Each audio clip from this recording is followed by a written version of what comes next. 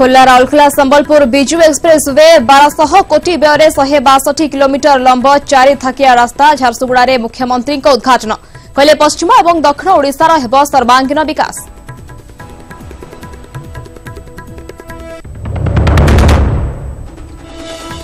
ଦୀଘା ଗୋପାଳପୁର ଭାରତମାଳା ଉପକୂଳ ଜାତୀୟ ରାଜପଥ ପ୍ରକଳ୍ପ ଏପ୍ରିଲରୁ ଆରମ୍ଭ ହେବ ଗ୍ଲୋବାଲ ଟେଣ୍ଡର ପ୍ରଥମ ପର୍ଯ୍ୟାୟରେ ସତାଅଶୀ କିଲୋମିଟର ପ୍ରକଳ୍ପ ପାଇଁ ପନ୍ଦରଶହ ପଞ୍ଚାବନ କୋଟି ଟଙ୍କାର ବ୍ୟୟ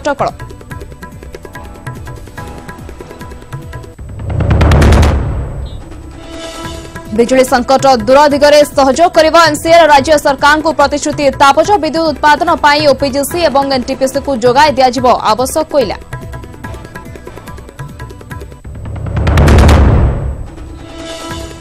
ତାମିଲନାଡୁ କୁରଙ୍ଗାନି ପାହାଡ଼ରେ ଭୟଙ୍କର ନିଆଁ ସଇଁତିରିଶ ଜଣିଆ ଟ୍ରେକିଂ ଟିମ୍ର ଦଶରୁ ଅଧିକ ସଦସ୍ୟଙ୍କ ମୃତ୍ୟୁ। ବାକିଙ୍କୁ ଖୋଜିବାରେ ଲାଗିଛନ୍ତି ବାୟୁସେନା ଯବାନଙ୍କ ସହ ସ୍ଥାନୀୟ ପ୍ରଶାସନ।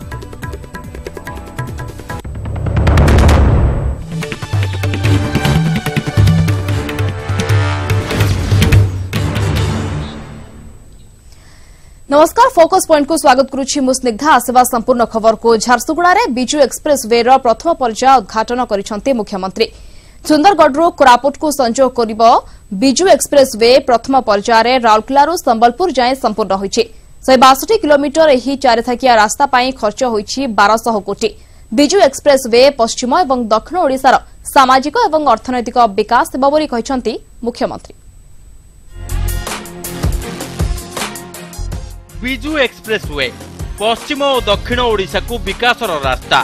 ସୁନ୍ଦରଗଡ଼ ଝାରସୁଗୁଡ଼ା ସମ୍ବଲପୁର ବରଗଡ଼ କଳାହାଣ୍ଡି ନୂଆପଡ଼ା ଦେଇ ନବରଙ୍ଗପୁର ଓ କୋରାପୁଟକୁ ସଂଯୋଗ କରିବ ଏ ରାସ୍ତା। ଛଅଶହ ପଚାଶ କିଲୋମିଟର ଲମ୍ବ ଏହି ଏକ୍ସପ୍ରେସ ୱେ ପାଇଁ ରାଜ୍ୟ ସରକାର ନିଜସ୍ୱ ପାଣ୍ଠିରୁ ଖର୍ଚ୍ଚ କରିବେ ତିନି ହଜାର କୋଟି। ପ୍ରଥମ ପର୍ଯ୍ୟାୟରେ ଚାରିଥାକିଆ ବିଜୁ ଏକ୍ସପ୍ରେସ ୱେ ଲମ୍ବିଛି ରାଉରକେଲାରୁ ସମ୍ବଲପୁର ଶହେ ବାଷଠି କିଲୋମିଟର। ଝାରସୁଗୁଡ଼ାରେ ଯାହାର ଶୁଭ ଉଦ୍ଘାଟନ କରିଛନ୍ତି ମୁଖ୍ୟମନ୍ତ୍ରୀ। ସୋମବାର ମଧ୍ୟାହ୍ନରେ ଝାରସୁଗୁଡ଼ା ପୋଲିସ ପଡ଼ିଆରେ ଅବତରଣ କରିଥିଲା ମୁଖ୍ୟମନ୍ତ୍ରୀଙ୍କ ହେଲିକପ୍ଟର। ସେଠାରୁ ଶହ ଶହ ବିଜେଡି କର୍ମୀ ବାଇକ୍ ରାଲିରେ ମୁଖ୍ୟମନ୍ତ୍ରୀଙ୍କୁ ପାଛୋଟି ନେଇଥିଲେ ପଞ୍ଚପଡ଼ା ହାଇସ୍କୁଲ ପଡ଼ିଆ ସଭାସ୍ଥଳୀକୁ।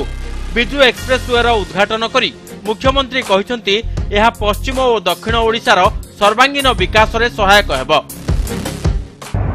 from first phase ରାଉରକେଲାରୁ ସମ୍ବଲପୁର ପର୍ଯ୍ୟନ୍ତ ରାଜପଥର ଉଦ୍ଘାଟନ ହେଲା ବିଜୁ ଏକ୍ସପ୍ରେସୱେର ଏକ ଅଶୀଟି ଏକଶହ ଷାଠିଏ କିଲୋମିଟରକୁ ଅଧିକ ବିଜୁ ଏକ୍ସପ୍ରେସ ୱେର ରୂପରେଖ ଓ ନିର୍ମାଣ ସମ୍ପର୍କରେ ସବିଶେଷ ତଥ୍ୟ ରଖିଛନ୍ତି ପୂର୍ତ୍ତ ମନ୍ତ୍ରୀ ପ୍ରଫୁଲ୍ଲ ମଲ୍ଲିକ ଉଦ୍ଘାଟନୀ କାର୍ଯ୍ୟକ୍ରମରେ ଯୋଗଦେଇ ଝାରସୁଗୁଡ଼ା ବିଧାୟକ ନବ ଦାସ କହିଛନ୍ତି ରାଜ୍ୟ ସରକାରଙ୍କ ବିକାଶମୂଳକ କାର୍ଯ୍ୟକୁ ସବୁବେଳେ ସମର୍ଥନ କରାଯିବ। ନବଙ୍କ ସହ ସୁନ୍ଦରଗଡ଼ ବିଧାୟକ ଯୋଗେଶ ସିଂ ଏବଂ ତଲସରା ବିଧାୟକ ପ୍ରଫୁଲ୍ଲ ମାଝୀ ମଧ୍ୟ ସଭାରେ ଉପସ୍ଥିତ ଥିଲେ।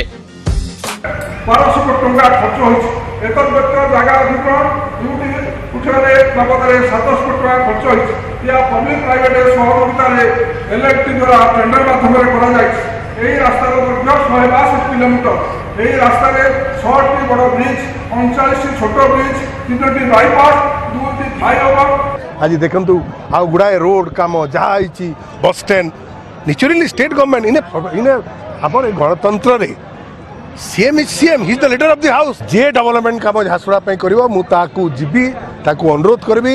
তাহাদ্বারা এই অঞ্চলর বহুত উন্নতি হওয়া আগকু সমস্তে ব্যবসায়িক দৃষ্টিকোণরু এবং ଅନ୍ୟାନ୍ୟ ପର୍ଯ୍ୟଟନ ଦୃଷ୍ଟିକୋଣରୁ ସବୁ ହିସାବରେ ଏ ଅଞ୍ଚଳର ବହୁତ ଉନ୍ନତି ହେବ ମୁଖ୍ୟମନ୍ତ୍ରୀଙ୍କ ଗସ୍ତକୁ ଦେଖି ବ୍ୟାପକ ସୁରକ୍ଷା ବନ୍ଦୋବସ୍ତ କରାଯାଇଥିଲା। ମୁତୟନ ହୋଇଥିଲେ ଷୋହଳ ପ୍ଲାଟୁନ୍ ଫୋର୍ସ। ଝାରସୁଗୁଡ଼ାରୁ କ୍ୟାମେରାମ୍ୟାନ୍ କୃଷ୍ଣଚନ୍ଦ୍ରଙ୍କ ସହ ସୁରେନ୍ଦ୍ର ବାରିକ ଓ ତ୍ରିବିକ୍ରମ ପ୍ରଧାନ ନ୍ୟୁଜ୍ ଏଇଟିନ୍ ଓଡ଼ିଆ। ସେପଟେ ବିଜୁ ଏକ୍ସପ୍ରେସ୍ ୱେ ନେଇ ପ୍ରତିକ୍ରିୟା ରଖିଛି ବିଜେପି। ଦଳ କହିଛି ପୁରୁଣା ରାସ୍ତାକୁ ମରାମତି ଏବଂ ଉନ୍ନତିକରଣ କରି ନୂଆ ଏକ୍ସପ୍ରେସ୍ ରାସ୍ତା ଉଦ୍ଘାଟନ କରି ଲୋକଙ୍କୁ ଭୁଆଁ ବୁଲାଉଛନ୍ତି ରାଜ୍ୟ ସରକାର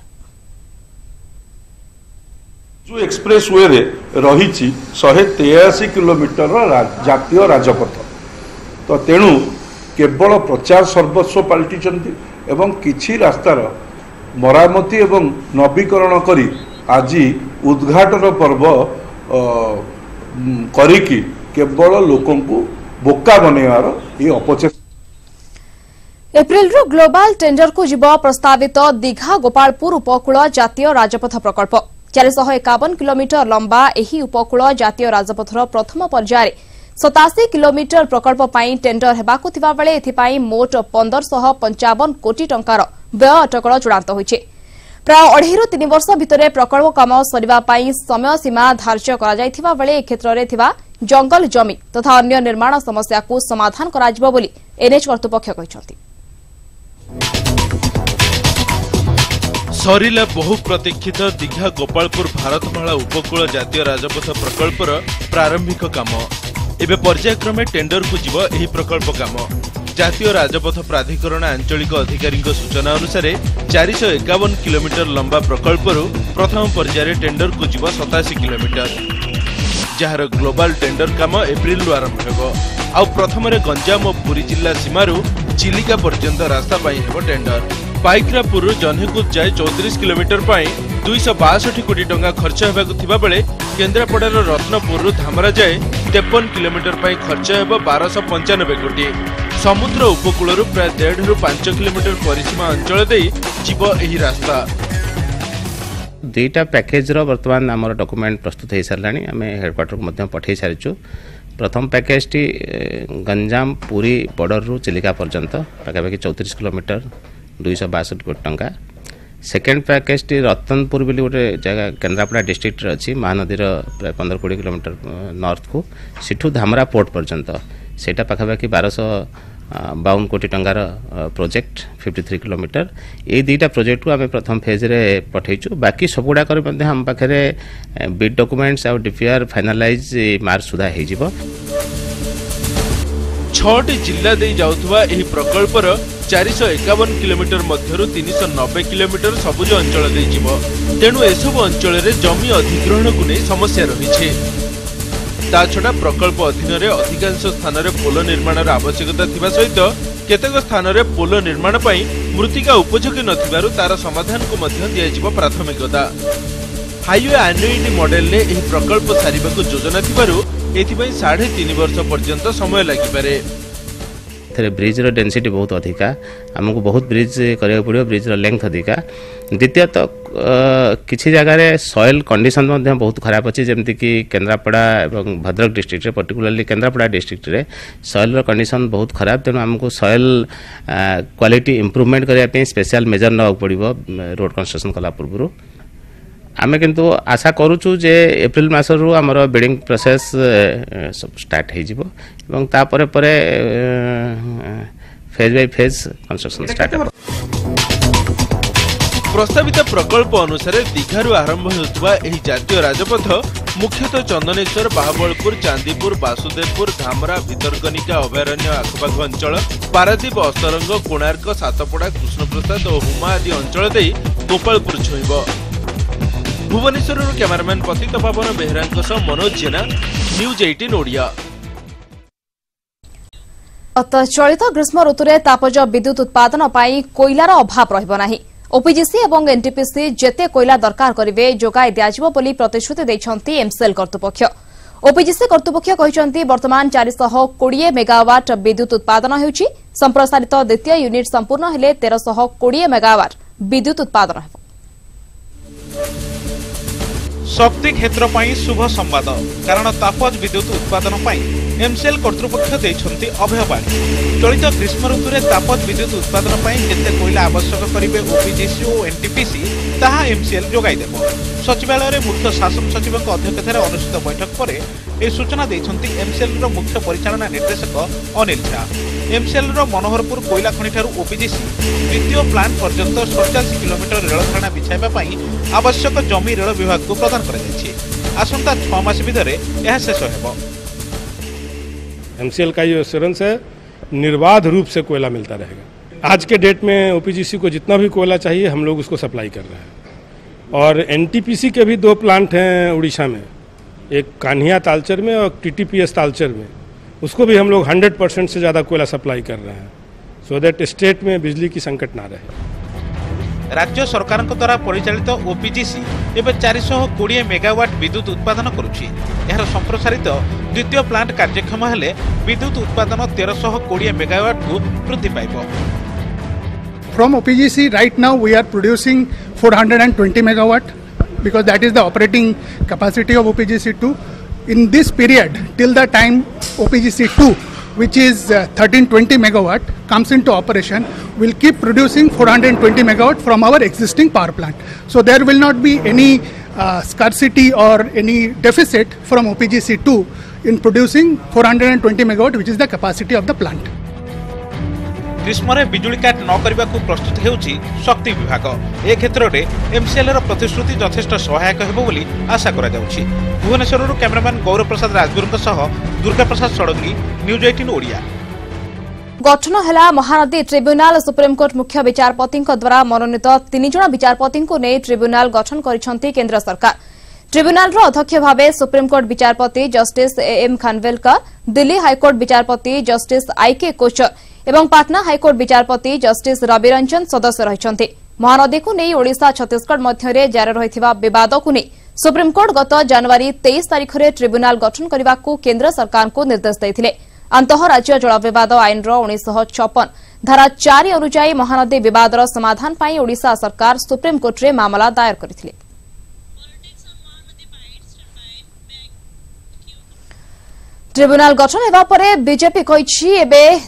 ପୂରଣ ହେଲା ଶାସକ ଦଳ ରାଜନୀତି ବନ୍ଦ କରିବା ଦରକାର। ଜବାବରେ ବିଜେଡିର କହିବା ହେଲା ସୁପ୍ରିମକୋର୍ଟ ନିର୍ଦ୍ଦେଶ ଯୋଗୁଁ କେନ୍ଦ୍ର ସରକାର ମାରିବାକୁ ରାଜି ହେଲେ। ସରକାରଙ୍କର ଥିଲା ଓଡ଼ିଶାବାସୀ ମଧ୍ୟ ଚାହୁଁଥିଲେ ଯେ ଜଳ ଜଳ ସମ୍ବଳ ସମ୍ବଳ ନେଇକରି ଯେଉଁ ବିବାଦ ରହିଛି ତାର ଶୀଘ୍ର ସମାଧାନ ହେଉ। ଆମେ ବି ଆଶା କରିବା ଭାରତୀୟ ଜନତା ପାର୍ଟି ବି କହୁଥିଲା ଏବଂ ଏବେ ମହାନଦୀ ଡିସ୍ପ୍ୟୁଟ୍ର ସମାଧାନ ହେଇଯିବ। ଏବଂ ରାଜନୀତି କରିବା ଓଡ଼ିଶା ସରକାର ଛାଡ଼ିବେ କେନ୍ଦ୍ର ସରକାରଙ୍କ ତ ଟ୍ରିବ୍ୟୁନାଲ ଗଠନ କରିବାର ଆଦୌ ଇଚ୍ଛା ନଥିଲା ବାଧ୍ୟ ହୋଇକରି ସୁପ୍ରିମକୋର୍ଟ ମାନ୍ୟବର ସୁପ୍ରିମକୋର୍ଟଙ୍କ ନିର୍ଦ୍ଦେଶ ଅନୁସାରେ ଟ୍ରିବ୍ୟୁନାଲ ଗଠନ କରିବାକୁ ସରକାର ବାଧ୍ୟ ହେଲେ। ତେବେ ଆମେ ଟ୍ରିବ୍ୟୁନାଲ ଗଠନକୁ ସ୍ୱାଗତ କରୁଛୁ।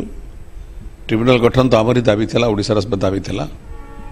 ଏବଂ ଯେତେବେଳେ କେନ୍ଦ୍ର ସରକାର ଟାଳଟୁଳ ନୀତି ପ୍ରୟୋଗ କଲେ ଆମେ ମାନ୍ୟବର ସୁପ୍ରିମକୋର୍ଟଙ୍କ ଦ୍ୱାରସ୍ଥ ହୋଇଥିଲୁ।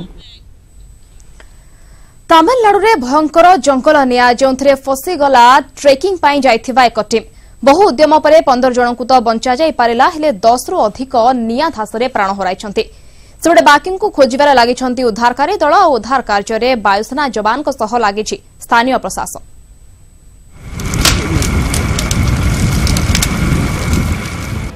ଜଙ୍ଗଲ ମଧ୍ୟରେ ଭୟାନକ ନିଆଁ ଯାହା ଦେଖିକି ଆପଣଙ୍କ ହୋସ୍ ଉଡ଼ିଯିବ।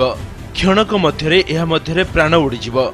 ଆଉ ନିଆଁର ଏହି ଚକ୍ରବ୍ୟୁହ ଭିତରେ ଫସି ରହିଥିଲେ ଟ୍ରାକିଂ ପାଇଁ ଯାଇଥିବା ସଇଁତିରିଶ ଜଣିଆ ଏକ ଟିମ୍ ଯାହା ମଧ୍ୟରୁ ଅଧିକାଂଶଙ୍କ ଜୀବନ ନିଆଁ ଯୋଗୁଁ ଚାଲିଯାଇଛି। ଏବେ ଆସନ୍ତୁ ଜାଣିବା କିପରି ଓ କେଉଁ ପରିସ୍ଥିତିରେ ଏହି ଟିମ୍ ନିଆଁର ଚକ୍ରବ୍ୟୁହରେ ଫସି ଯାଇଥିଲେ। ତାମିଲନାଡୁ କୁରଙ୍ଗାନୀ ପାହାଡ଼କୁ ଟ୍ରେକିଂ ପାଇଁ ଯାଇଥିଲେ ଏକ ଟିମ୍। ସଇଁତିରିଶ ଲୋକଙ୍କ ପାଇଁ ଟ୍ରେକିଂ ପାଇଁ ସମସ୍ତ ପ୍ରସ୍ତୁତି କରିଥିଲା ଚେନ୍ନାଇ ଟ୍ରେକିଂ କ୍ଲବ। ରବିବାର ସକାଳେ କୁରଙ୍ଗାନୀ ପାହାଡ଼ର ଜଙ୍ଗଲରେ ଲାଗିଥିଲା ଭୟଙ୍କର ନିଆଁ। ଜଙ୍ଗଲ ନିଆଁରେ ଫସିଗଲେ ଟ୍ରେକିଂ ପାଇଁ ଯାଇଥିବା ସମସ୍ତ ସଇଁତିରିଶ ଜଣ। ନିଆଁରୁ ମୁକୁଳିବା ପାଇଁ ସ୍ଥାନୀୟ ପ୍ରଶାସନଠାରୁ ମୁଖ୍ୟମନ୍ତ୍ରୀଙ୍କୁ କଲେ ନିବେଦନ। ଏନେଇ ଖବର ପାଇବା କ୍ଷଣି ଚେନ୍ନାଇରୁ ଦିଲ୍ଲୀ ପର୍ଯ୍ୟନ୍ତ ଖେଳି ଯାଇଥିଲା ଚାଞ୍ଚଲ୍ୟ। ତୁରନ୍ତ ମୁଖ୍ୟମନ୍ତ୍ରୀ ପାଲାନୀସ୍ୱାମୀ ଏନେଇ କେନ୍ଦ୍ର ପ୍ରତିରକ୍ଷା ମନ୍ତ୍ରୀ ନିର୍ମଳା ସୀତାରମଣଙ୍କଠାରୁ ମାଗିଲେ ସହାୟତାର ହାତ। ମୁଖ୍ୟମନ୍ତ୍ରୀଙ୍କ ଅପିଲକୁ ନଜରରେ ରଖି ପ୍ରତିରକ୍ଷା ମନ୍ତ୍ରୀ କାଳ ବିଳମ୍ବ ନ କରି ଉଦ୍ଧାର କାର୍ଯ୍ୟ ପାଇଁ ବାୟୁସେନାକୁ ପ୍ରସ୍ତୁତ କରିଥିଲେ। ଏପରିକି ଘଟଣାସ୍ଥଳକୁ ଦୁଇଟି ହେଲିକପ୍ଟର ସମେତ ଶହେ ଯବାନଙ୍କୁ ପଠାଗଲା ଯାହା ମଧ୍ୟରେ ଗରୁଡ଼ କମାଣ୍ଡୋ ସଦସ୍ୟ ବି ସାମିଲ ଥିଲେ।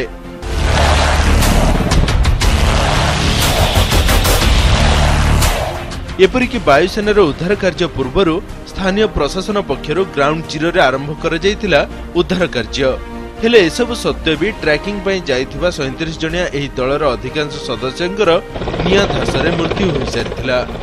The Garuds are trying to lift the bodies of the dead to a higher plane to where you can have the helicopters go and carry them down. ଟ୍ରେକିଂରେ ରୋମାଞ୍ଚ ସାଙ୍ଗକୁ ମୁସ୍କିଲ ପାହାଡ଼କୁ ଅତିକ୍ରମ କରିବା ପାଇଁ ସାହସ ବି ମିଳିଥାଏ। ହେଲେ କୁରୁଙ୍ଗାନୀ ପାହାଡ଼ରେ ଟ୍ରେକିଂ ଜୀବନ ଉପରେ ଭାରି ପଡ଼ିଗଲା। ଏବେ ଆସନ୍ତୁ ଦେଖିବା ଏହି ଟ୍ରେକିଂ ଟିମ୍ରେ କେଉଁ ଅଞ୍ଚଳରୁ କେତେ ସଦସ୍ୟ ଥିଲେ। କୁରେଙ୍ଗାନି ପାହାଡ଼କୁ ଟ୍ରେକିଂ ପାଇଁ ସଇଁତିରିଶ ଜଣ ଯାଇଥିଲେ ଯାହା ମଧ୍ୟରେ ଛବିଶ ମହିଳା ଆଠ ପୁରୁଷ ଓ ତିନି ଜଣ ନାବାଳକ ଥିଲେ।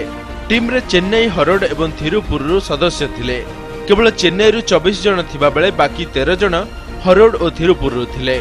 ଟ୍ରେକିଂ ଟିମ୍ ସହ ହୋଇଥିବା ଏହି ଦୁର୍ଘଟଣାକୁ ନେଇ ସମସ୍ତେ ମର୍ମାହତ। କେହି କିଛି ବୁଝିପାରୁନଥିଲେ। ପୁରା ଟିମ୍କୁ ବଞ୍ଚାଇବା ପାଇଁ ଉଦ୍ୟମ ହେଲା ହେଲେ ଏଥିରେ ସଫଳତା ମିଳିଲା ନାହିଁ। ଫଳରେ ଚାଲିଗଲା କେତେକ ମୂଲ୍ୟବାନ ଜୀବନ। Bureau report news eighteen Odia.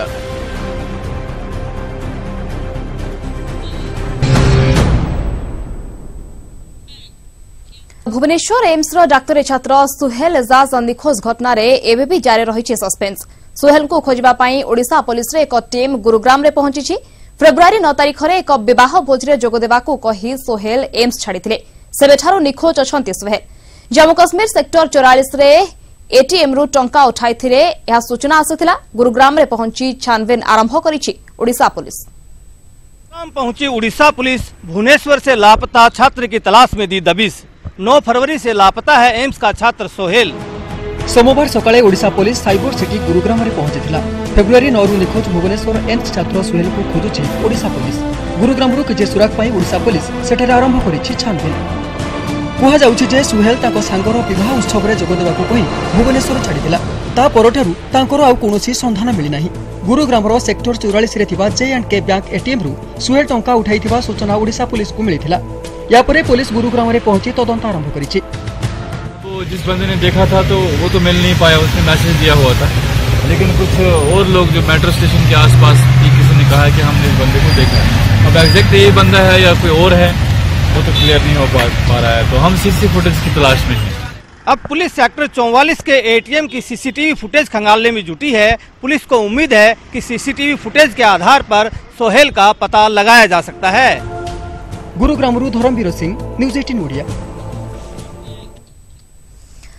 ଆସନ୍ତା ଷୋହଳ ଏବଂ ସତର ତାରିଖରେ ଅନୁଷ୍ଠିତ ହେବାକୁ ଯାଉଛି ନେଟୱାର୍କ ଏଇଟିନ୍ର ପ୍ରଥମ ରାଇଜିଂ ଇଣ୍ଡିଆ ସମିଟ୍ ଏହି ସମିଟ୍ରେ କଣ୍ଟ୍ରି ପାର୍ଟନର ହେଉଛି ଗାବନ ଆଫ୍ରିକୀୟ ରାଷ୍ଟ୍ର ଗାବନ ଏବେ ଅଭିବୃଦ୍ଧି ମିଶନ ନେଇ ଆଗେଇ ଚାଲିଛି। ଗାବନରେ ପୁଞ୍ଜିନିବେଶର ସମ୍ଭାବନା ନେଇ ଏକ ବିଶେଷ report network eighteen CNN news eighteen rising India ସମିଟ୍ର ପ୍ରଥମ ସଂସ୍କରଣ ଆୟୋଜନ କରିବାକୁ ଯାଉଛି। ଆସନ୍ତା ମାର୍ଚ୍ଚ ଷୋହଳ ଓ ସତର ତାରିଖରେ ଏହା ଆୟୋଜିତ ହେବାକୁ ଯାଉଛି। ଗାବନ ଏହି ସଂସ୍କରଣର ପାର୍ଟନର ରହିଛି। ଏନେଇ ଆମ ଟିମ୍ ଆଫ୍ରିକାର ଏହି ଏମର୍ଜିଂ ଦେଶକୁ ବୁଲି ଯାଇଥିଲା। ଦ୍ୱିପାକ୍ଷିକ ବାଣିଜ୍ୟ ଏବଂ ପୁଞ୍ଜିନିବେଶ କ୍ଷେତ୍ରରେ ଗାବନର ଦକ୍ଷତା ନେଇ ବୁଝିବାକୁ ଚେଷ୍ଟା କରିଥିଲା ଆମ ଟିମ୍। ଦେଖନ୍ତୁ ଏକ report. Meant to make it easier and, and uh, create some kind of competition with the neighboring countries and make Gabon a hub. where you can come and do your business, export your goods without any, any difficulty whatsoever. কেন্দ্রীয় পশ্চিম উপকূল আফ্রিকার এই सामुद्रिक রয়েছে विपुल বাণিজ্যর 800 kilometre আঠশহ समुद्र সমুদ্র উপকূল রয়েছে এখানে ফলরে द्रव्य परिवहन क्षेत्र रे এখানে व्यापक সুযোগ রয়েছে দেশর দ নিউ ওয়েন্ড আন্তর্জাতিক বন্দর एहारे এক উদাহরণ କେବଳ ବନ୍ୟ ସମ୍ପଦ ନୁହେଁ ଗାବନରେ ରହିଛି ବିପୁଳ ଖଣିଜ ସମ୍ପଦ ମାଙ୍ଗାନିଜ୍ ଲୁହାର ଭଣ୍ଡାର ହେଉଛି ଏହି ଦେଶ ମିନେରାଲ ଟର୍ମିନାଲ ଜରିଆରେ ପାଖାପାଖି ଚାଳିଶ ଲକ୍ଷ ଟନ୍ ଖଣିଜ ପଦାର୍ଥ ଉତ୍ତୋଳନ କରାଯାଇଛି ଖଣିଜ ଶିଳ୍ପର ବିକାଶ ସହ ଅଧିକ ପୁଞ୍ଜିନିବେଶ ହୋଇଛି ମଧ୍ୟ ଏହି ଦେଶରେ uh, worldwide and the access to an economic region with infrastructure that is extremely competitive and an economic corridor that can grant any investor what it looks to expect when it comes to cost of doing business. CNN news eighteen rising India summit ଦ୍ୱାରା ଆପଣ ଜାଣିପାରିବେ ଗାବନର ସମ୍ଭାବନାମୟ ଅର୍ଥନୀତି ସମ୍ପର୍କରେ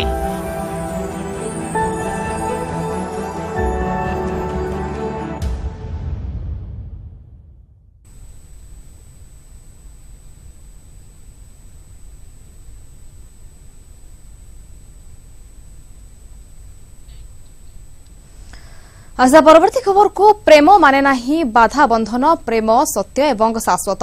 ପ୍ରେମ ଆଗରେ ହାର ମାନିଛି ସବୁକିଛି ଏଭଳି ଏକ ଘଟଣା ଘଟିଛି ସୁନ୍ଦରଗଡ଼ ଜିଲ୍ଲାରେ। ବାହା ହେବାର ଚାରିଦିନ ପରେ ନିଜ ସ୍ତ୍ରୀଙ୍କୁ ପ୍ରେମିକ ସହ ବିବାହ କରାଇଛନ୍ତି ସ୍ୱାମୀ। ପ୍ରେମର ଜୟ ପାଇଁ ବିଶାଳ ହୃଦୟର ପରିଚୟ ଦେଇଛନ୍ତି ଏହି ସ୍ୱାମୀ ଜଣକ ଯାହା ସ୍ଥାନୀୟ ଅଞ୍ଚଳରେ ଚର୍ଚ୍ଚାର ବିଷୟ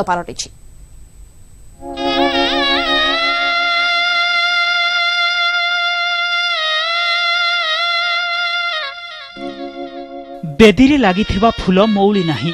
ବାହାଘର ପାଇଁ ଆସିଥିବା ବନ୍ଧୁବାନ୍ଧବ ଘରକୁ ଫେରି ନାହାନ୍ତି। ଅଷ୍ଟମଙ୍ଗୁଳା ସମେତ ବିବାହର ଅନେକ କର୍ମ ବାକି ରହିଛି। ଘରେ ବିବାହର ଉତ୍ସବ ଲାଗିଥିବା ବେଳେ ଜଣେ ନବବିବାହିତ ଯୁବକ ନିଜ ପତ୍ନୀର ପ୍ରେମକୁ ସ୍ୱୀକୃତି ଦେଇ ତାକୁ ପୁରୁଣା ପ୍ରେମିକ ସହ ବିବାହ କରାଇଛନ୍ତି। ସାତ ଜନ୍ମ ପାଇଁ ହାତ ଧରିଥିବା ସ୍ୱାମୀ ନିଜ ଛାତିରେ ପଥର ରଖି ନେଇଛନ୍ତି ଏ ନିଷ୍ପତ୍ତି। ଗାଁରେ ମିଟିଂ ଫିଟିଂ ହେଲା ଆମ ସରପଞ୍ଚ ସମିତି ସବୁ ଥିଲେ। ପିଲା କହୁଛେ ମୁଇଁ ରଖବି କହୁଛେ ତାପରେ ଝିଅ କହୁଛେ ମୁଁ ମୁଇଁ ତାର ଠାନେ ତମର ନି ରହେ ତାର ଠାନେ ରହିବି କହିକିରି କହୁଛେ ତାପରେ ତାଙ୍କୁ ଫୁଲମାଲା ଓହ୍ଲେଇକିରି ଆମେ ବାହାଘର କରିକି ଛାଡ଼ିଦେଲୁ। ପାମରା ଗାଁର ବାସୁଦେବ ଟପ୍ପ ମାର୍ଚ୍ଚ ଚାରି ତାରିଖ ଦିନ ଝାରସୁଗୁଡ଼ା ଦେବଡିହି ଗ୍ରାମର ଜଣେ ଯୁବତୀଙ୍କୁ ବିବାହ କରିଥିଲେ। ବିବାହର ପାଞ୍ଚ ଦିନ ପରେ ଅର୍ଥାତ୍ ନଅ ତାରିଖ ଦିନ ଝାରସୁଗୁଡ଼ାର ତିନି ଜଣ ଯୁବକ ବାସୁଦେବଙ୍କ ଘରକୁ ଆସିଥିଲେ। ସେମାନଙ୍କ ମଧ୍ୟରୁ ଜଣେ ବିବାହିତା ଯୁବତୀଙ୍କ ଭାଇ ବୋଲି ପରିଚୟ ଦେଇ ତାଙ୍କ ସହିତ ମିଶିଥିଲେ। ଏଥିରେ ସନ୍ଦେହ ପ୍ରକାଶ କରି ଗ୍ରାମବାସୀ ସେମାନଙ୍କୁ ଜେରା କରିବା ସହ ମାଡ଼ ମାରିବାରୁ ସେମାନେ ପ୍ରକୃତ କଥା କହିଥିଲେ। ନବବିବାହିତା ସର୍ବସମ୍ମୁଖରେ ଯୁବକଙ୍କ ସହ ପ୍ରେମ ସମ୍ପର୍କ ଥିବା ସ୍ୱୀକାର କରିଥିଲେ। ଶେଷରେ ବାସୁଦେବ ତାଙ୍କ ପତ୍ନୀଙ୍କୁ ପୁରୁଣା ପ୍ରେମିକ ହାତରେ ଟେକି ଦେବାକୁ ନିଷ୍ପତ୍ତି ନେଇଥିଲେ। ସେ ଯେଉଁ ବେଦୀରେ ବସି ଚତୁର୍ଥୀ ଓ ଅନ୍ୟ ବିବାହ କର୍ମ କରିଥିଲେ ସେହି ବେଦୀରେ ପତ୍ନୀଙ୍କୁ ବିବାହ କରାଇ ଦେଇଥିଲେ ଏବଂ ଉଭୟଙ୍କୁ ବିଦା କରିଥିଲେ। ଗ୍ରାମବାସୀ ତାଙ୍କର ସମସ୍ତେ ବିଚାର କଲୁ ଯେ ଇଟା ତ ତାଙ୍କର ରୀତି ଇଏ ହୋଇଯାଇଛେ ଆରେ ତାଙ୍କର ପୁଅର ମା ବାପାକେ ବି ଡାକି ଦଉଁ ଝିଅର ମା ବାପାମାନଙ୍କୁ ସମସ୍ତকে ଡାକି ଦଉଁ। ଆଉ ତାଙ୍କେ ବି ଯେନ୍ତା ରୀତିରୀତି ହିସାବରେ ବାହାଚୁରା ହେଇଥିଲା ସେଇ ହିସାବରେ ଆମେ ଇନେ ପାଞ୍ଚ ପାଞ୍ଚ ଭଦ୍ର ବସିକିରି ତାଙ୍କେ ବାହାଚୁରାଟା କରିଦେଉ ଏଇଟା ଆମକେ ସବୁନୁ ବେଷ୍ଟ ହେ କହିଲା ସେ ବାବୁ ଯେ ମୁଇଁ ଆଉ ତାକେ ନି ରଖେ ଆସ ସଭେ ବାହା କରି କରି ପଠେଇ ଦେମା ତାହାକେ କହିଲା ହଁ କହିଲୁ ଆମେ ସଭେ ରାଜି ହେଲୁ ନି ରଖୁ ବେଲେ କାଁ କର୍ମା କର୍ମା ଏନ୍ତା କହିଲୁ ସଭେ ରାଜି ହେଲୁ ଆମେ ଇନୁ ଆମେ ଜାତି ସମାଜ ନେଇକି ଗଲୁ ସେନ୍କେ ଆଉ ସେନୁ ଇଏ କରି କରି ଯେନ୍ଟା ଇଏ କରି ଗଲା ସେ ମିଟିଂଟା ହେଲା ତାର ଇଏ କରି କରି ତିନିଟା ପିଲା ଯାଇଥିଲେ ସେମାନେ ତାର ସେ ବାହାଘର କରିଦେଲେ ସେଇ ଯେ ଯେ ପିଲା ସେ ଲଭ୍ ମ୍ୟାରେଜ ଚଲିଥିଲା ସେ ତାର ବାହା କରିଦେଲେ। ପିଲାକେ ତ ଧନ୍ୟବାଦ ଦେବାର କଥା ସେଟା ଆଉ ସେଟା ଗୋଟେ ବହୁତ ଭଲ ଜିନିଷଟା ହେଲା ଆଉ। ଦୁନିଆ ଯାହା ବି କହୁ ପ୍ରେମର ବିଜୟ ପାଇଁ ସ୍ୱାମୀଙ୍କ ଏ ତ୍ୟାଗ ସମସ୍ତଙ୍କ ପାଇଁ ଉଦାହରଣ ପାଲଟିଛି। ସୁନ୍ଦରଗଡ଼ରୁ ସୁଜିତ ସାଙ୍କ ସହ ଝାରସୁଗୁଡ଼ାରୁ Surendra Barik news eighteen Odia.